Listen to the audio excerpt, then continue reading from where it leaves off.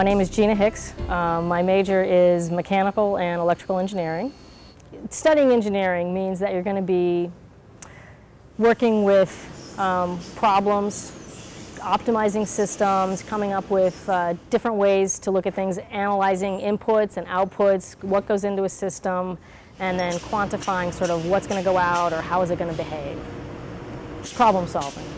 I guess the story that I hear a lot from my classmates is they were the tinkerers when they were growing up. If you're curious about things and how things work and you like to solve problems, then engineering is a good spot for you.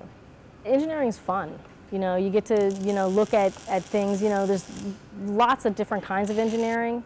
And so if there's, there's something for everybody that wants to go out and kind of solve problems and have a lot of fun.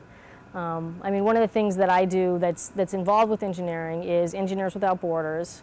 And so through that, we get to work with developing countries, go out, work with the people there, solve some problems for them, and really make a difference uh, in their lives. And you can do that sort of stuff here too.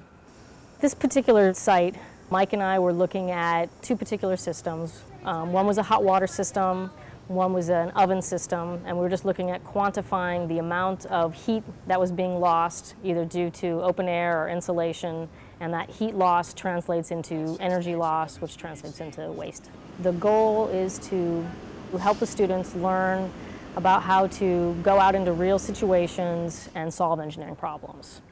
The other half of it is to provide information for small to mid-sized manufacturers that will help them save energy, save money, and I guess in a small way save, save the planet. But By putting about an inch and a half layer of the bead-type insulation, we could produce, let's see, uh, $6,200 a year in energy savings. We'll take it.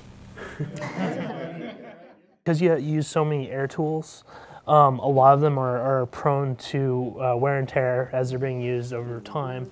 An employee at the end of the day sets his air, airline down with the tool still attached, that hole's still leaking. So the premise is um, what you can do is uh, designate a staff member to hunt down and find these leaks and stop them. It could cost you a few hundred dollars per year, but as you can see, um, the savings, uh, what were the total savings? It was $5,700 just in leaks. Thank you. great, Thank you. thank you. Thanks for all your time today. Yeah, no problem. Guys, I